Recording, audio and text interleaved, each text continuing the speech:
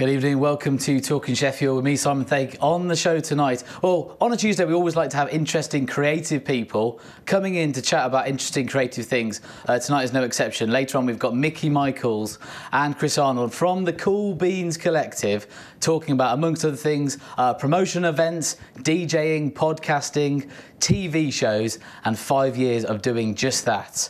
Before that, we're chatting to a couple of ladies who I must say are the best dressed guests we've had on the show. Uh, Miss Starla Bright and Atheria Hart are here to tell us about their burlesque show. Evening, Hello, ladies. Simon. Hi. Some people come, make no effort at all, just rock up. I have to say, you've yeah, you've shone tonight, so thank you so much. Thank you very much. You're very welcome. Before we get into um, the world of burlesque, and I must say I think it's a, a, a tricky one because I was chatting to friends about this who were very confused about what burlesque was. We'll get into that. Um, maybe you could tell us a little bit about the event that you're putting on before we get into the finer details. Okay, well, um, it's next weekend, Saturday, the 21st of November, and uh, it's taking place at the Footloose Dance Centre, which is in Barlborough, just off junction 30 of the M1. And it's called the Star Bazaar Burlesque Show. And it's the first of its kind, but we're certainly hoping that we're going to do many more. So has the Star Bazaar been in other forms, or is this a debut event for the Star Bazaar? Yeah, yes, um, the Star Bazaar has existed for six years as a burlesque double act. Here we are. um, uh, we've both performed as solo artists as well and also as a double act. And we decided that um, long ago that we were going to put on our own event. Yeah. And we finally decided 2015 was the year. So here we are. And uh, we named our event after our double act. I think actually when we first came up with the idea that we would start and do burlesque, we also said we'd love to do a show straight away, and that was the idea from the mm. start. What we wanted to do was put our own show, and now we finally got to this stage. So it's been lots of fun preparation and exciting creativity of putting everything that we imagine into it. Well, let's talk a bit about that creative process later on as well. So about and all the, the hard work that presumably went into it and the rehearsals and all of that sort of stuff as well. Um, in terms of this definition of burlesque, where it derives from. Now, when speaking to a friend, they said, oh, burlesque, I think it's something to do with it's a sort of a classier, sort of more humorous version of striptease. Has he nailed it? Is that That's- spot on? I think that's one way of pretty, looking at it, yeah, I think that's pretty Is that pretty It's been around for a very, very long time um, in Where does it come various different guises. Um, it's, it originates in different countries at different points in history, uh, in different ways. Um, certainly here in Britain, um, music hall and vaudeville and um, that whole variety act. And what, um, what decades are we talking about That So 40s, 50s? Much further back than that. Way yeah. earlier yeah, than I'm Yeah, thinking even Victorian earlier. era. Yeah. Okay. Um, okay. I'm by no means an expert on the history of burlesque, but I know it's been around for a very long time in different forms. Uh, burlesque actually means to parody, so um, the, the striptease element is, is actually optional. it doesn't just mean that, and certainly our um, event isn't just about striptease. Uh, it's also going to have um, music, and uh, we have a fantastic vocalist on, and we have acrobatics and comedy, and um, all sorts of things really. And so tell us about your backgrounds and what led you to this, because you were you were both sort of dancers originally. Yes, we are. Um, we both have very different backgrounds, but we have both performed together uh, as well before we became burlesque performers. Um, I started from the age of three in ballet and also tap. It's all very kind of classic style of dance. It gave me quite a good upbringing of dance and has given me a quite a stern edge of I like to perform and I like the harshness and shapes and creativity What- that comes what- from it. Um, what was ballet like? I'm always wondered about people, Um, especially hard work. that's why it's very like strict. strict teachers, that's the very stereotype, strict. isn't it? Everything's very it has to be perfectly done and practiced over and over again. And it, I think that's what's given myself, and I know you've also done ballet Mm-hmm. from a young age, has given us that kind of edge for wanting to get everything perfect and rehearse, rehearse, rehearse, and make sure everything's perfect and everything about the performance is, is yeah, excellent. Um, but yes, I've gone from doing that to also, uh, I did that until the age of about 16, um, and then went into the world of art um, and then into fine art at university, and then went back to doing uh, dance and contemporary dance, that kind of side of things, and that's kind of um, I suppose, given me a different kind of style, but I've always had my own creativity. And I think when I got to the age of 16, that's when I realised to find that ballet and tap were just too strict for my style of things. I have a lot more freedom. I quite like. They were reining you in. Yeah, I quite like. I'm a bit Kate Bush esque, I suppose. yeah, and I suppose really now is a bit Lady Gaga esque, as now as a more kind of up to date kind of feel. But yeah, the, those kind of two as uh, have my kind of style of things. And where do your styles lie? Do they uh, um, inspired by ballet similar as start. Uh, yeah, I was four, and I said to my mum that I wanted to be a ballerina because my Cindy doll had a tutu. Yeah, Simple well, that'll do it, won't it? Of course. And uh, I did learn quite early on that um, I wasn't cut out for the strict regimen of ballet, but I did keep it up until I was 16. And I did um, ballet, tap, stage, Latin, American, ballroom, and I did. drama school, like the local um, youth theatres. I was in Mansfield Youth Theatre and the North East Derbyshire Youth Theatre as well. And I went to the Sheena Wallace School of Dance in Chesterfield for many years, great school. And then I... sort of shout out to the yep, Sheena Big shout out to yep. Sheena Wallace. and uh, then I sang in bands for a few years. I stopped dancing and I sang my way around the country um, and the money that I earned from singing paid for my university degree.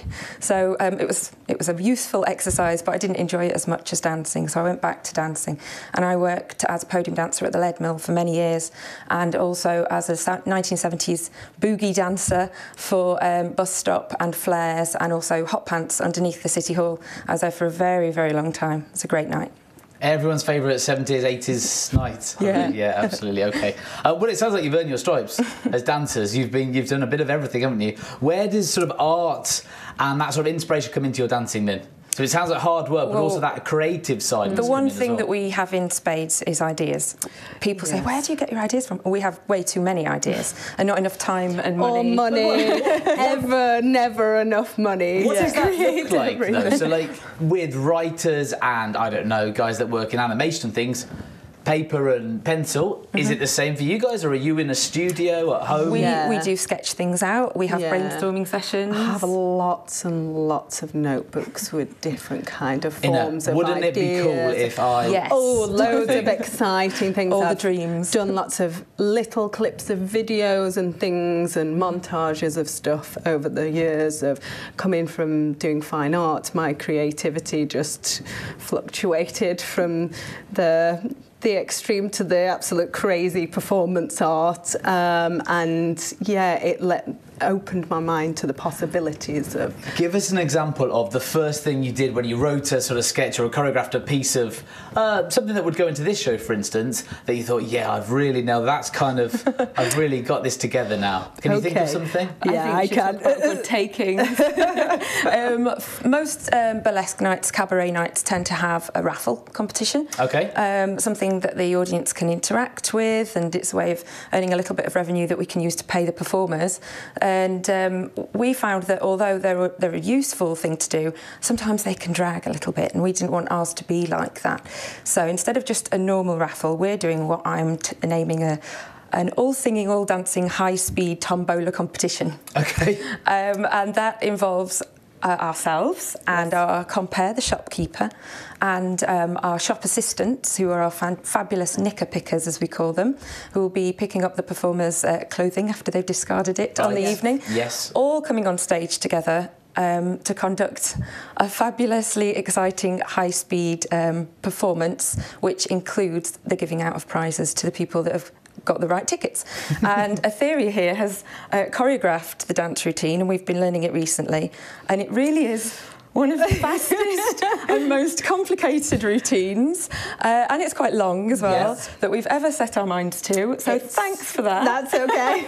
it's been absolutely hilarious to come up with. It's all kind of set to a kind of vaudeville style can-can esque song. I'm picturing, um, yeah, okay. Yes, so you know it, it builds. It's very kind of atmospheric and very, like Starla says, fast.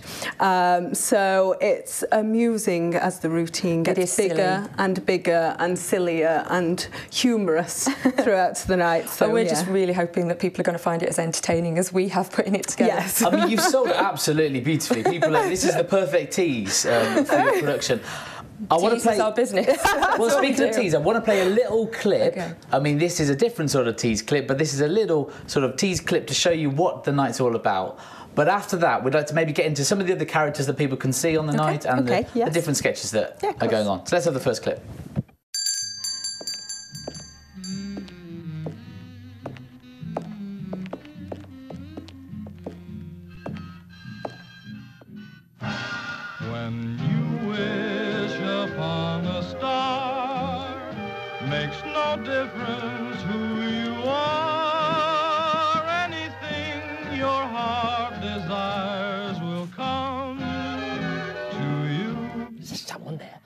There? Customers! out of the blue. Customers!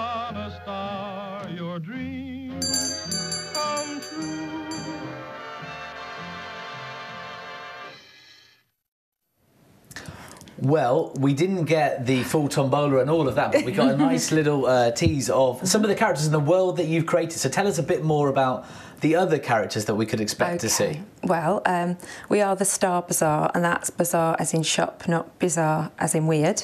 Although we are a little bit weird. Definitely we like a to be little a little bit bit, weird.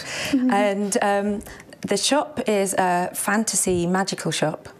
Um, which we are hoping that the um, audience on the night of our show will feel like they're the customers in the shop and they're coming along to see the fabulous products which are available on the shelves of the shop. Okay. And the fabulous products are the performers that we've booked for the evening. But there's a lot going on because you said doors at 6.30 and it Yeah. will finish at midnight. Yes. There's a few Yes. sketches involved in there. There's all Oh sorts yes, going on. there is Yeah. absolutely.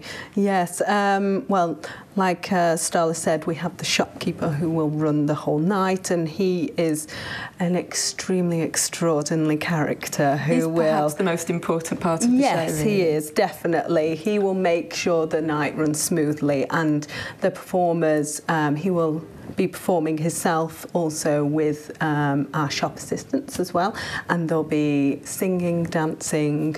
Uh, he maybe even pop out into the audience uh, and sit on people's laps. I'd be if absolutely They're very lucky. cringing at the back. I wouldn't worry. It's not. It's not an intimidating no, it's, situation. Yeah, it's not the kind of thing that You won't we be want- picking on anyone. No, he's not going to be pulling people out of the audience. It will be quite comical and humorous, and only if he can tell that you're up for it. susceptible Yeah. Happy to to. it instead of embarrassing you and shaming you. It's not of that kind of No. thing. Tell me a bit about the guys that come to watch this sort of thing. This is a different audience, and we talked a bit about the differences. Um, this isn't a striptease show, essentially. It's, it's way more than that. And it also seems like there's the humour there as well in this show. that Very people much would enjoy. so. Yes. Well, in our experience in the past few years, um, the average burlesque audience, as we've travelled around the country, tends to be mostly predominantly female. So Hmm. I'd say 70 to 80% women. Um, and it also, if you do get men there, they're with their wives. Yes. Um, you don't tend to get groups of men. You wouldn't get a stag do at a burlesque A big event. cheering. no, stag do, yeah. raucous, And none of that. They're actually, um, although obviously burlesque audiences are there to have a great time, tends to be a lot of alcohol flowing, but they're also quite a classy audience, certainly compared to um, the types of people that we've danced for in the past, maybe groups of students, that kind of thing. this this is much Not Yeah. disparaging much more, students not and their at all, classiness. not at all. Well, but this is more yeah. adults than that. Everybody dresses up, gets involved in mm-hmm. it. It's all. It has a very kind of vintage edge to things. Everyone likes to show their creativity in how what they're wearing and how they come. And yeah, like Starla said, it's a very kind of female-friendly audience. And It's very I think- warm and welcoming. Yeah, it's very supportive of.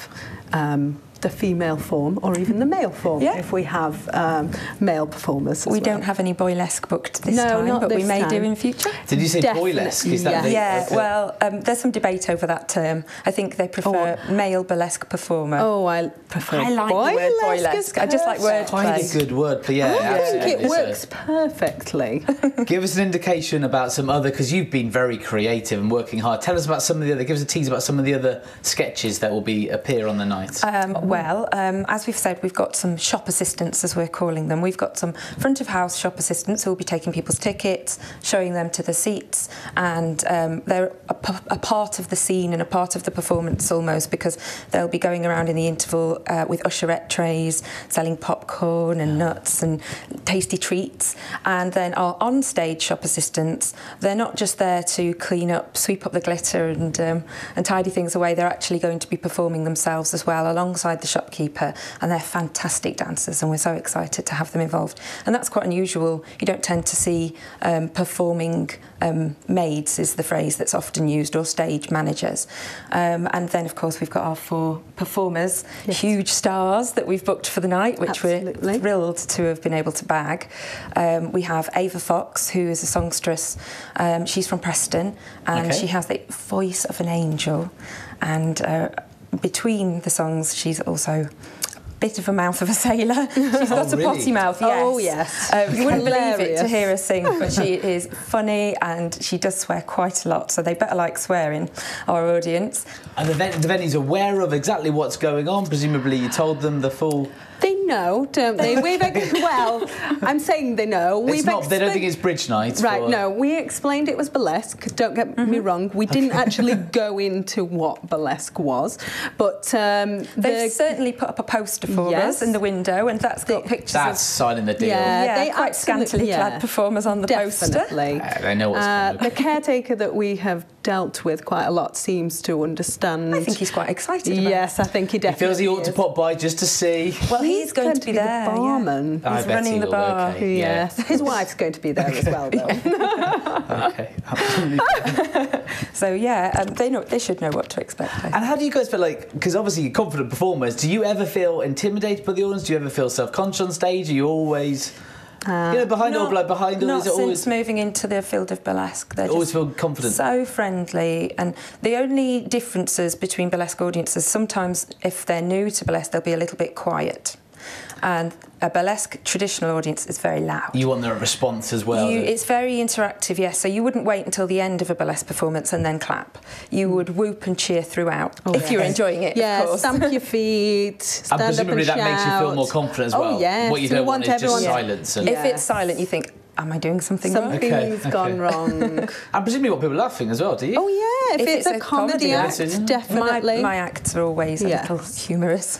So Yeah. a little bit carry on film style, Yeah. cheeky, cheeky. now, I still get nervous before I go on stage. Now, it's not a kind of the, the crowd maybe won't enjoy me. I think it's just the I'm just so used to getting nervous before I go on stage. It's Yeah, the the preparation nerves of and- making sure that everything goes right, something doesn't go wrong. You're the only one on stage if if I'm not perform, performing with Starla. Uh, then it's yeah, ev all eyes are on you. So you've got to make things go perfectly. So yeah. Let's have a final quick clip and then a final plug for forthcoming events as well. Okay. Okay. Twinkle, twinkle, little stars. Like small candles held in jars. Can I tell you a secret? Don't promise me you will keep it. For I know a wondrous place where the moon and stars have a face.